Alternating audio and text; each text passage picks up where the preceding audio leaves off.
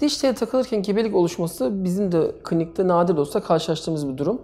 Bir kez şunu söyleyeyim ki herhangi bir şekilde gerek e, anneye gerek de çocuğa herhangi bir şekilde olumsuz bir durum söz konusu değildir. Çünkü bizim bu kullandığımız materyalin hepsi e, tamamen e, TSE veya CE belgesi olan herhangi bir şekilde problem oluşturmayacak oksidatif veya toksik etki yapacak bir durum söz konusu değildir. Sadece belki burada dikkat edilmesi gereken nadir olmakla beraber biz ortodontistler bazen arada bir film almak durumundayız. Hastaların dişlerini, köklerini takip etmek durumunda.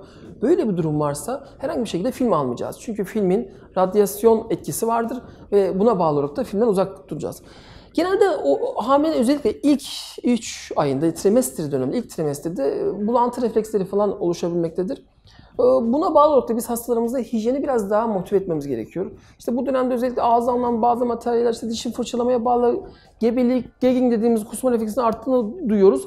Bunun yöntemleri vardır. Ağızda belki daha öncesinde soğuk su bulundurmak, ağzın ister istemez anestezik etki yapacaktır. O soğuk su alıp çalkalamak, arkasından dişini fırçalamak olabilir.